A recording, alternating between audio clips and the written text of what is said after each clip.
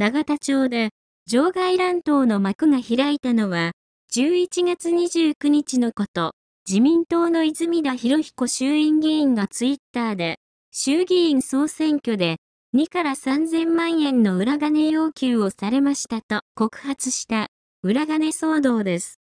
その場に引きずり出されたのは、泉田氏の地元、新潟県政界のドンコと星野勲県議です。要求されたのが、裏金が必要経費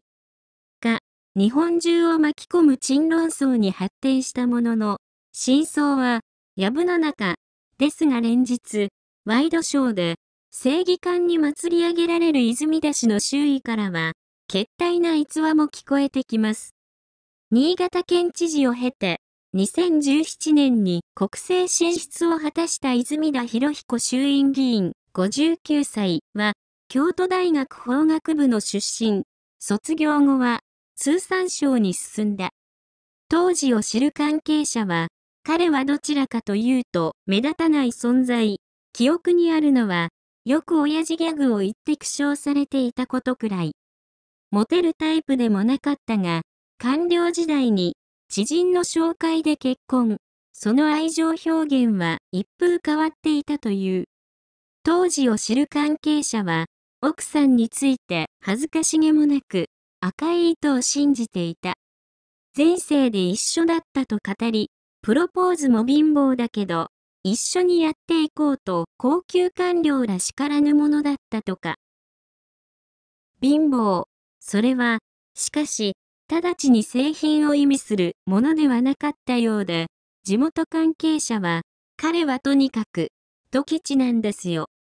2004年の初当選以来、3期にわたって県知事を務めた泉田氏だが、地元関係者は、知事選は自民党は丸がかえでしたし、スタッフに缶コーヒー一本おごったとも聞かない。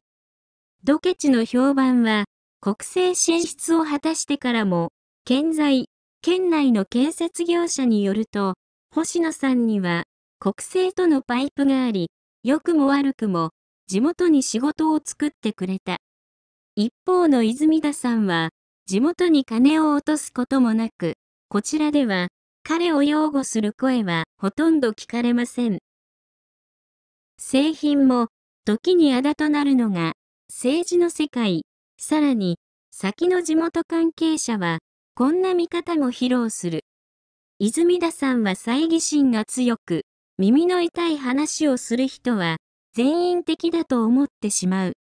先の衆院選では、県連がまとまらず、彼の選挙区は、保守分裂の戦いに知事の一期目から後見人を務めてきた星野さんが彼を見限ったとの情報も乱れ飛び、星野さんの金銭要求に彼が過剰反応しただけではなんて囁かれています。臨職家の泉田氏が選挙資金を出し惜しんだだけにも見える今回の騒動、星野氏のすべて思い出した。という白々しい発言とその独特な髪型ばかりが注目される報道には、地元から戸惑いの声も聞かれるのだ。地元関係者は、ワイドショーでは、髪の乱れた星野さんの姿が繰り返し流され、ネットでは、カツラ疑惑まで持ち上がっていました。実は、星野さんは、頭部の右側の髪が薄く、左側の毛を肩まで伸ばして、右に向けて書き上げるワンレンスタイルにしているんです。普段は、スプレーで完璧に固めていたのに、今回は乱れがち。突然のことによほどうろたえていたのでしょう。犬も食わない喧嘩のようです。